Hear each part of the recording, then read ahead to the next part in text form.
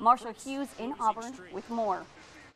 Well, the drought is over. Tennessee's streak of 11 losses in the SEC is done with. All it took was a road trip to see the reigning SEC West champions to make it happen. Auburn had more total yards and more rushing yards in this game, but in a battle of the Jarretts, it was Guarantano outperforming Stidham through the air. Uh, it means a whole lot. Uh, this is my first SEC win, first SEC win for my class, playing really.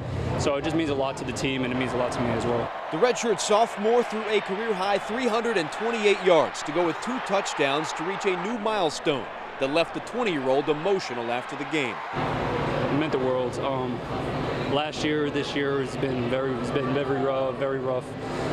Um, just means a lot. Stidham's first of three turnovers set Guarantano up for a 42-yard touchdown pass to Ty Chandler, tying the game at 10 in the second quarter. You know, I knew no doubt he was going to come in and do his thing. Uh, he's a great player, uh, great quarterback, great leader for us, so I knew he was going to come out and do his thing. We just had to protect him.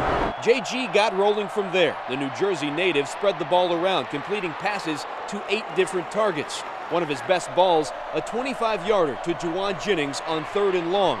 Guarantano 11 of 14 for 188 yards on third downs, and this throw gave Tennessee its first lead late in the third. We're used to being down, as you guys know, and so when we weren't we weren't focused on the scoreboard at all. That's one of the things that Coach Pruitt was saying pregame. Don't worry about the scoreboard. Let's be the most physical team out there, and let's just go play ball. He's tough, man. You can't ask for a better quarterback than him, man. I got to keep him cleaner. That's my job, you know. And Jarrett just keeps playing, man. He just keeps showing his toughness week in, week out. What type of man he is. As an offense, I think we played very well. There's definitely things we can fix, and we're going to go back and elaborate on those and look at them. But I'm very happy with what we did today. Tennessee scored 20 unanswered before Auburn made it a six-point game with under a minute to play.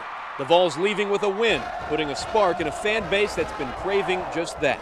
Well, I'm going to tell you what, it's always fun to beat Auburn, and especially to beat them at Auburn. So, um, but um, I am excited for our players and everybody associated with our program, our fan base. Uh, our fan base is hungry, and they should be, you know, and we're going to enjoy this for 24 hours, and then we're going to get ready for the next game next week.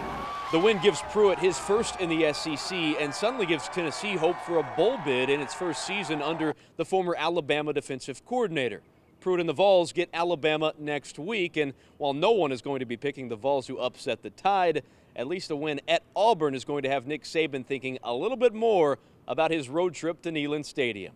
In Auburn with the Vols, Marshall Hughes, WATE 6 on your side sports.